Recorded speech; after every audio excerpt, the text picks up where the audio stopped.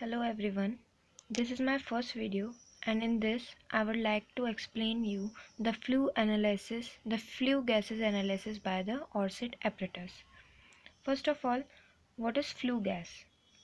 Flue gas is a mixture of carbon dioxide, carbon, monodi carbon monoxide, oxygen. These are coming out by the combustion chamber. These are analyzed by the Orsat apparatus method. The main aim of this experiment is to be measured the amount of the flue gases released. That how much amount of carbon dioxide is released how much amount of carbon monoxide is released and how much amount of oxygen is released from the combustion chamber.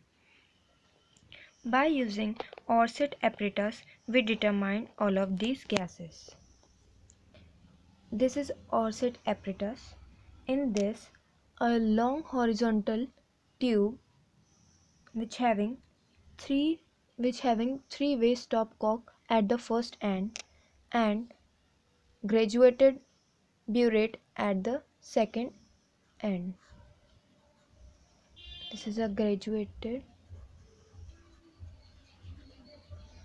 burette. The lower end of the burette is connected to the water reservoir and the burette is surrounded by the water jacket. The upper end of the burette is connected to three series of absorption bulbs in which first bulb is having potassium hydroxide solution, second bulb is having pyrogallic acid solution and third bulb is having ammonical cuprous chloride solution. The three-way stopcock is connected with a U-shaped tube which having flue gases inside it.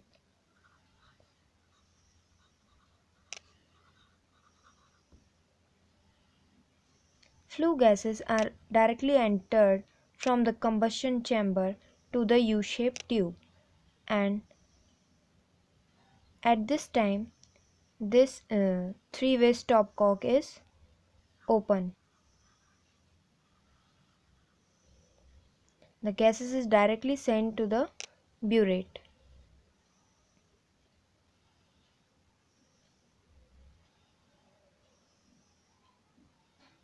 Because all of the three absorption bulbs having stopcock but these are closed at this time. Now first of all the stopcock of the absorption bulb first containing potassium hydroxide solution is opened. The gas is passed into the bulb raising the water level in the burette. The gas is entered into the bulb come in contact of potassium hydroxide solution which it absorbs the CO2. This same process is repeat at several times. So on second absorption bulb it absorb oxygen and the third absorption absorbing bulb absorb